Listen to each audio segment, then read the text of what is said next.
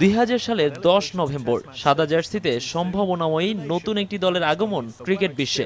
আমিনুল ইসলাম বুলবুলের একশো পঁয়তাল্লিশ রানের ইনিংসে সম্ভাবনার পালে লাগে জোর হাওয়া।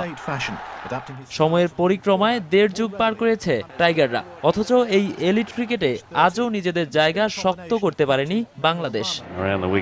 এই আঠারো বছরের পথ চলায় অস্ট্রেলিয়া ইংল্যান্ড কিংবা ওয়েস্ট ইন্ডিজকে হারানোর সুখস্মৃতি আছে। তবে সেসব কালে ভদ্রে। এক একটি জয়ের জন্য বাংলাদেশকে দিতে হয়েছে চরম ধৈর্য পরীক্ষা।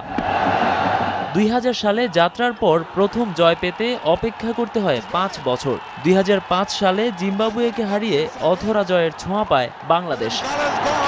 পরের অপেক্ষা আরও চার বছরের। দুই হাজার নয় সালে ওয়েস্ট ইন্ডিজকে হোয়াইট ওয়াশ করে বাংলাদেশ। এর চার বছর পর দুই হাজার তেরো সালে চতুর্থ জয় আসে জিম্বাবুয়ের বিপক্ষে। দুই হাজার চোদ্দ সালে আবারও জিম্বাবুয়েকে হোয়াইট ওয়াশ করে টাইগাররা। তবে টেস্ট ক্রিকেটে বাংলাদেশের স্বর্ণ সময়টা দুই হাজার ষোলো ও সতেরো সালে। এ সময়ে ইংল্যান্ড শততম টেস্টে শ্রীলঙ্কা আর একই বছরে অস্ট্রেলিয়ার বিপক্ষে জয়। টেস্ট আর্কাইভে জমে থাকা সবচেয়ে সুখকর স্মৃতি এই সময়টুকুই।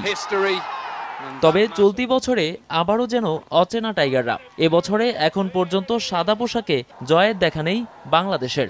আছে জিম্বাবুয়ের বিপক্ষে একশো একান্ন রানের বড় ব্যবধানে হারের লজ্জা।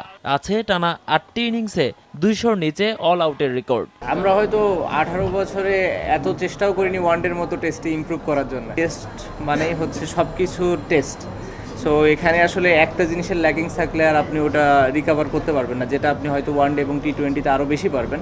সব মিলিয়ে মোট একশো নয়টি টেস্ট খেলেছে বাংলাদেশ। দশ জয়ের বিপরীতে তিরাশি ম্যাচেই হার। অর্থাৎ দশ ভাগ ম্যাচও জেতেনি টাইগাররা। যেটা আমরা হয়তো প্রবলি অন্যান্য ফর্মেটে এখন যেভাবে আমরা রেজাল্ট পাচ্ছি কন্টিনিউয়াসলি আমরা ভালো ক্রিকেট খেলছি আমাদের ওই রিদমটা আমরা ধরতে পেরেছি। হয়তো টেস্ট ক্রিকেট আমরা ওই রিদমটা এখনও ধরতে পারিনি। এবার বোধোদয়ের সময় হয়েছে। ওয়ানডে টি টোয়েন্টির মতো অভিজাত টেস্ট ক্রিকেটেও ধারাবাহিক হবে বাংলাদেশ এমনটাই প্রত্যাশা সবার। নোমান আবদুল্লাহ সময় সংবাদ.